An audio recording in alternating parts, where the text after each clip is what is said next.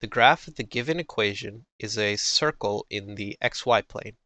The point AB lies on the circle. Which of the following is a possible value for A?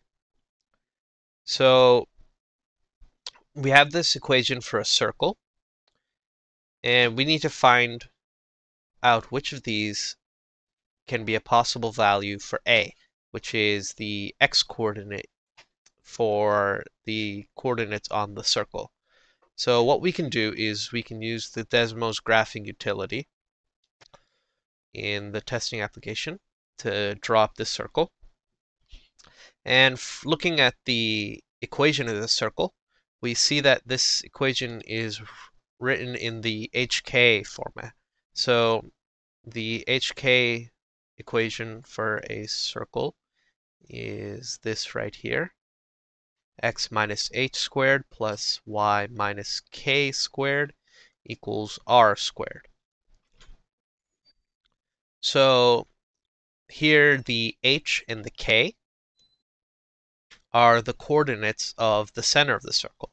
So in this case, we have 4, or since this is a positive 4 here, and in the formula it's a negative h, this is actually uh, the h here is equal to negative 4.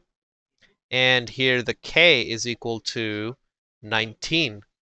That means that the center of this circle is at negative 4, 19, which is right about here. And we know that the radius of this circle is, or the radius squared is 121. And the square root of 121 is equal to 11. This means that the radius, which is the length from the center to the outside edge, is 11. And here at the center, we're at uh, an x-coordinate of negative 4. That means on the leftmost, the leftmost edge of this circle is 11 units away from the center. So that means it, this distance here is 11 units, and we're at negative 4, so that means this over here has to be negative 15. Then on the right side, since we're at negative 4, this coordinate over here has to be 7. So that means that the possible ranges for the x values on this circle range from negative 15 to 7. So the x values on this circle, or the a values, in this case we're using AB for the coordinates, have to be between negative 15 and 7. So negative 16 is not in between, since negative 16 is to the left of negative 15.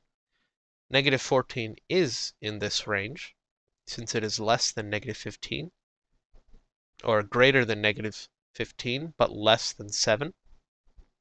11 is greater than 7, so it is not in the range. And 19 is greater than 7, so it is not in the range. Which means B is the correct answer.